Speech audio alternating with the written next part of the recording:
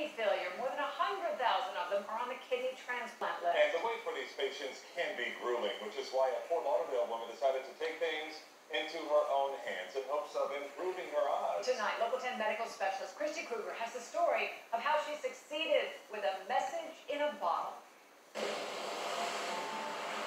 For two long decades, Joyce Griffin struggled with kidney problems.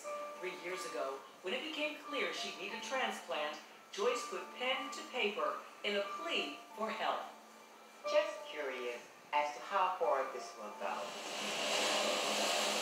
She put her message in a bottle, tossing it out to sea with very high hopes. That someone will find a bottle, and hopefully someone that knew someone that wanted to be a donor, or something, I don't know, might happen, and they were a donor.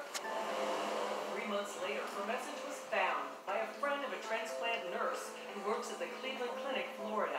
My name is Mrs. Jade Griffin. I am in need of a kidney transplant. Somebody please help me. My time is running out. The next thing she knew, someone from right here at Cleveland Clinic, Florida was calling her to make an appointment. When I did go in to my appointment, everyone on the floor knew of me. It feels pretty amazing to know that, you know, the anyone that you may know, how we're all connected somehow. We were able to get her here, get her listed, and you know, we got her organ. While kidney transplant surgery is less complicated, those in need typically spend four to five years on a wait list, during which time they often wind up on dialysis. What we advise people if their kidney function getting worse and we assuming that they're gonna get into dialysis, they can get listed and they can get some time on the list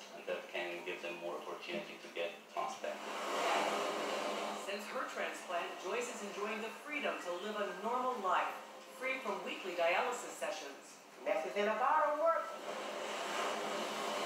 From Cleveland Clinic, kidney transplant. On Dania Beach, I'm Kristi Krueger, Local 10 News. Love that story. And later this month,